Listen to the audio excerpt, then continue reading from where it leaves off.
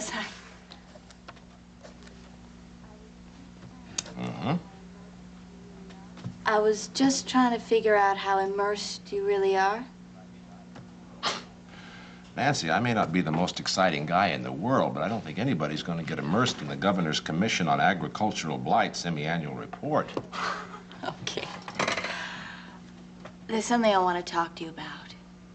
It's kind of important. Sure. Right on cue. Just one minute. Senator Ryan's office. Hello, Bob. It's Dave Feldman. Oh, uh, hi there. How are you? Oh, I'm fine, thanks. I've uh, been trying to get hold of Frank here in New York, and I keep missing him all day. It's about Nancy. Oh, uh, yeah. Well, I'm surprised you couldn't get in touch with Frank. He's been pretty busy up there. Are you able to talk? Well, actually, it's not possible. She's there. Right. Listen, give me a minute, will you? Nancy, can you get that file on urban housing? It might be on Frank's desk, maybe in the drawers. I think I had Jeannie refile it yesterday. I'll find it somehow. All right. Uh, I heard. Yeah, yeah, she might be back any minute now. What's going on? I was going to talk to Frank about this, but uh, I'm sure that you will understand. Yeah. You know about Nancy and Pat Ryan. Yeah, yeah, I do. Now, uh, please uh, understand what I'm saying. It's not that I don't think Pat's a fine boy.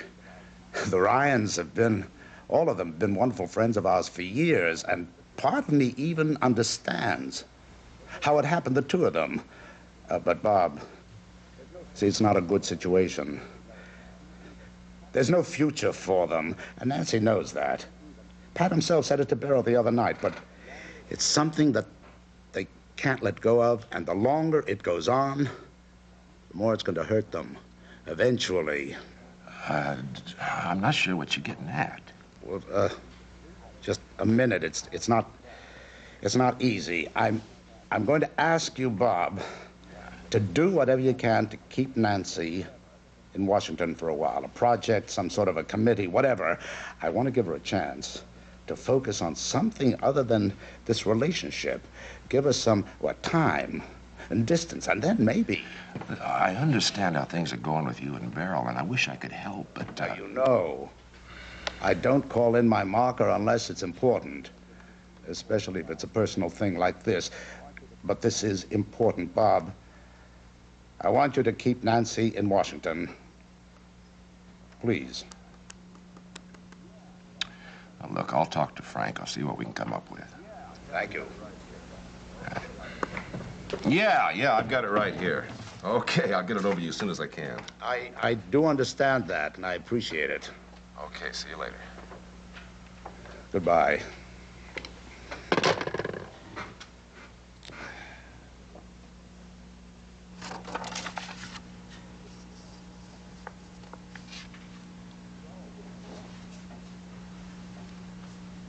Was it important? Hmm? No, uh, yeah, yeah, yeah, I'll take care of it. Okay. You wanted to talk to me about something? Yeah. Okay, uh... I Guess the easiest way to say it is just to come out and say it. Mm -hmm. Bob, I want to leave Washington.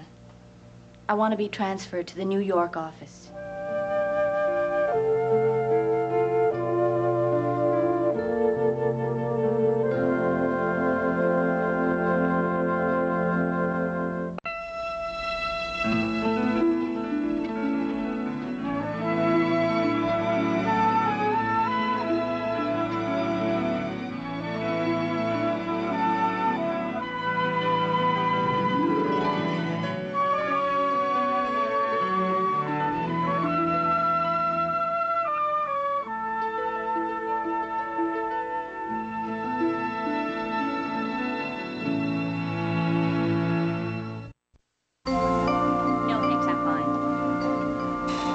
All this? A mess.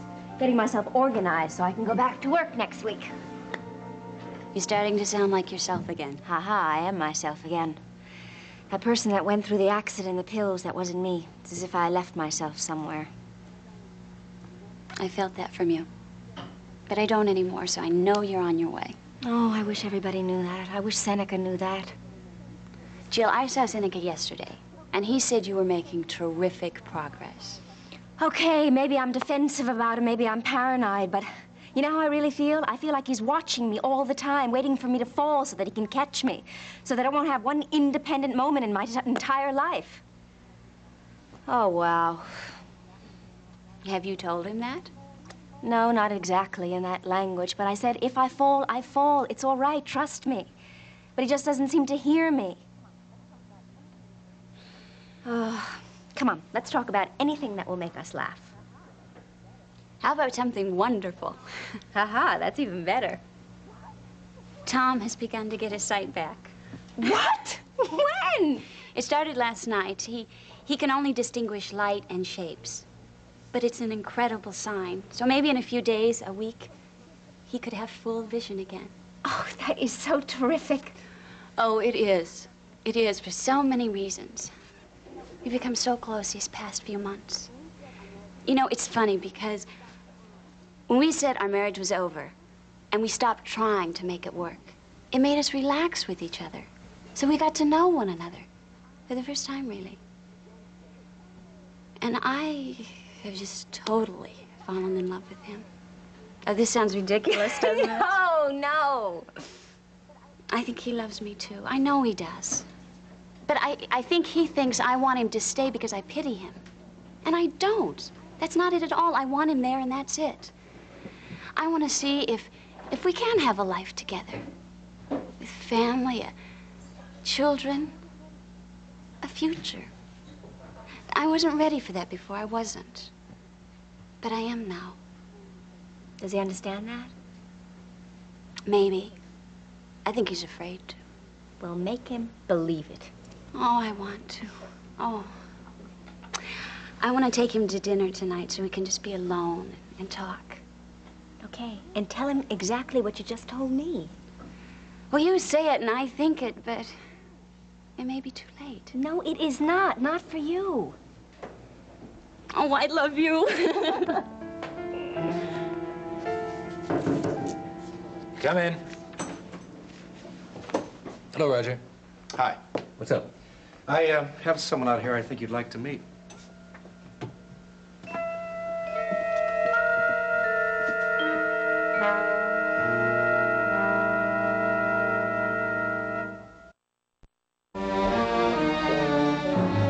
This is um, Duke Cheever, one of the orderlies on your service. Hello. Hi, Dr. Bowen. What's going on? Well, you got me. I just came in and uh, got a message Dr. Coleridge wanted to see me. I haven't even changed yet. I should be on duty now. Oh, don't worry about it. Okay? You're the boss. The Duke uh, is a very conscientious worker. He's um, always busy. Well, I just do my job. In fact, he and Jill became very close friends while she was staying here. He, uh, he was a big help to her. I'm interested in hearing about that. Sit down.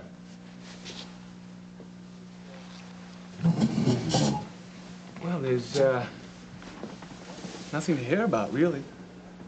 And not, your wife's a nice lady, Dr. Beaulac. I felt sorry for her. She was hurting a lot, and she was real sad, too, you know, losing the baby and everything. Hey, I don't know if I ever told you how sorry I was about that. I know it's been a rough time for the both of you. Yeah. Yeah, it was. Well, I'm glad she got better, though. It was real hard on her. How's she doing? She's fine now. But as a matter of fact, Duke, it was, uh, it was rough on her when she got home, too. What do you mean? Well, somehow she got addicted to her medication. No kidding. No. Wow, it's too bad. I guess that happens sometimes, huh? Is she okay? She went through withdrawal. Do you know anything about withdrawal? Well, yeah. Well, I've heard. It's probably the most difficult thing she had to do in her life. But she's okay now. Yeah. Well, that's good. Send her my best, would you?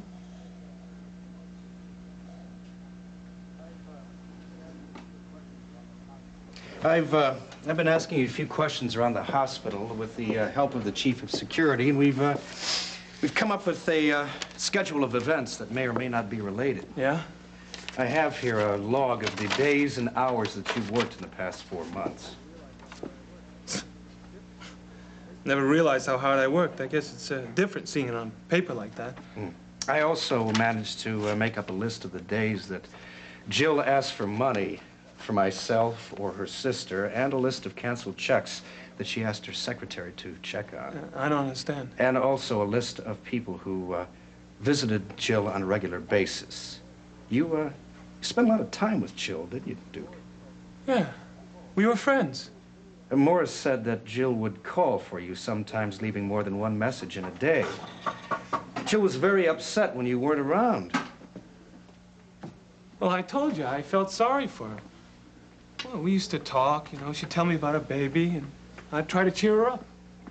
Like pushing pills on her so she'd get addicted? I don't know what you're talking about. You know exactly what I'm talking about. Take your hands off me, Dr. Beaulac. I haven't even started with you. Take your hands off me. You just got your license back. You don't want to screw yourself up again for beating up on one of your staff, do you?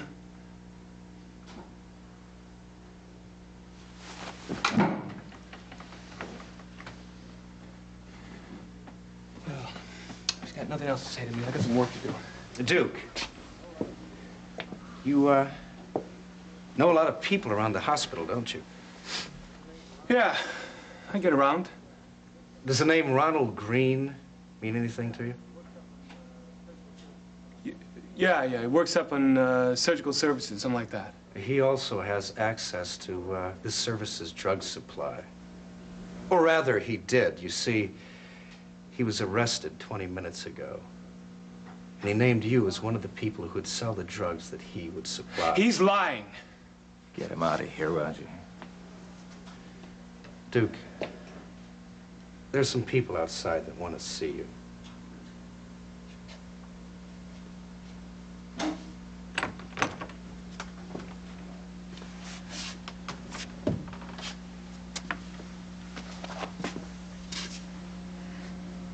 We, we were just friends, you know?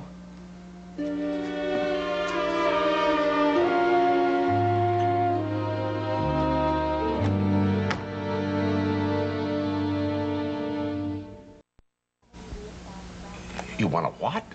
I want to be reassigned to Frank's New York office, yes. now you're the one who's staring. Oh, well, I'm, I'm just surprised, that's all. Hey, I'll miss you too. Look, I'm not going yet anyway. I know I'll have to train someone to take over for me here, and besides, we'll be back and forth and. You've got a problem, Well, I don't know if you call it a problem exactly, but. but I just don't think it's possible. Yeah, Bob, I'd call that a problem. Why not? We need you right here in Washington. You become an important part of this whole organization. Thank you, but I'm not indispensable. There are six people on staff already who could do what I do. Sure, it would take them a little while to get everything under control, but it's not that difficult. I mean, I didn't know anything about politics last year, and so they'd have it way above me already. Nancy, you've been around politics all your life. Maybe not directly, but something's got to have rubbed off. I mean, you're a very special, special girl. You're doing a terrific job here. I'm flattered. You seem very uncomfortable. Why?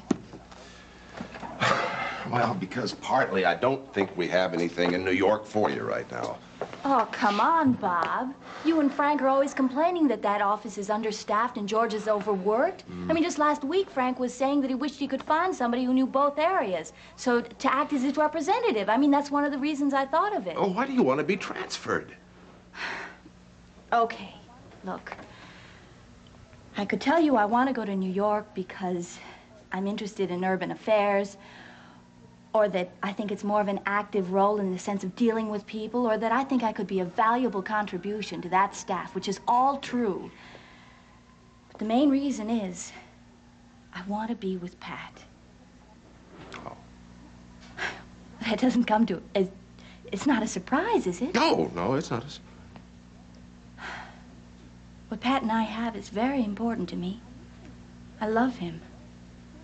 I miss him when, when I'm here. It's not easy. I mean, sure, it's terrific going to New York for the night or him coming here, but I don't know. Makes it all unreal somehow. We need time. We need to be together as much as we can to find out what we really have. Yeah, well, I had this girl, Linda, kind of did the same thing to me. Bob, this is not a crush. You didn't know me before Pat happened to me. I, I was alone. And I had been for a long time. Okay, I'm 23, but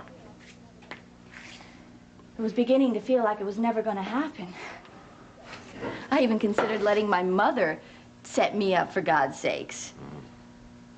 I know it's okay to be alone, but I was starting to turn into myself, and it scared me. I, I'm not alone now. I don't know how long this is going to last, Pat and I, but I need to give it every chance I can. Nancy, I wish I could help you. then say yes. I can't. Well, do you at least see it as a possibility? To be perfectly honest with you, no, I don't. Could you tell me why? I already have. Well, then tell me again. Look, I'll talk to Frank. I'll see what we can come up with, but don't get your hopes up. Never mind. I'll talk to him myself. Excuse me. You know, I really thought you'd understand. I'm sorry. Yeah, so am I.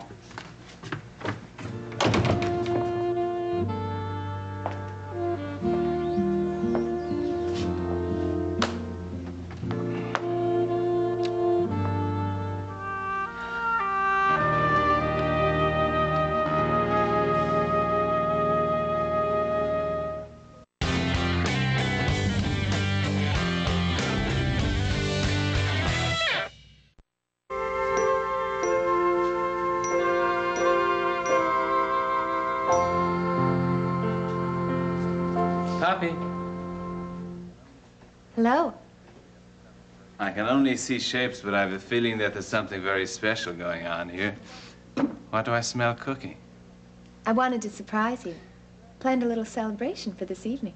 Well, what a splendid idea. Thank you.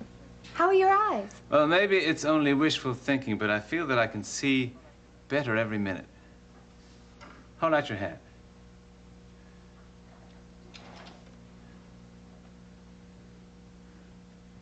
How's that? Beautiful. You know, I'm looking forward to meeting you face to face, so to speak. I hear you're so pretty.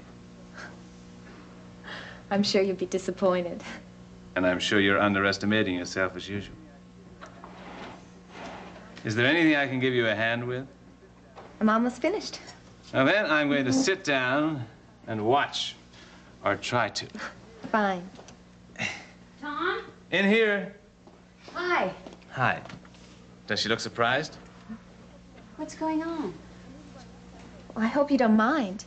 I knew you wanted to celebrate Tom's recovery, and I was afraid if I suggested you let me do this for you, you'd probably tell me not to bother. So I decided to surprise you.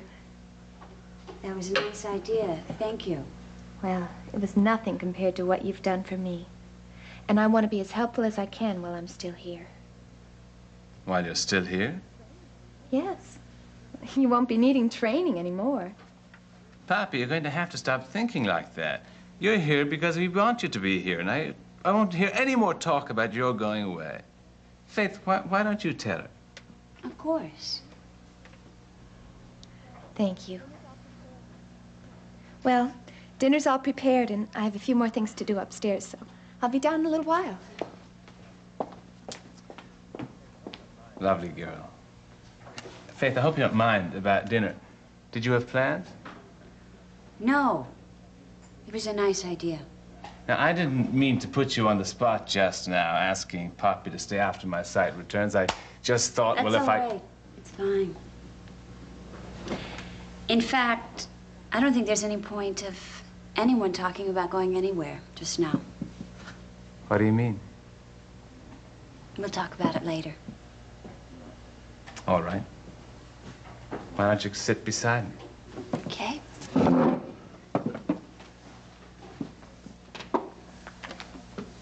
Faith, I can almost see your face. You know, I've never forgotten your smile all these months. It's, it's been with me like, like a dream. Soon it will be real again. Yes. You're smiling now, aren't you? Yes. Yes, I am. I can tell.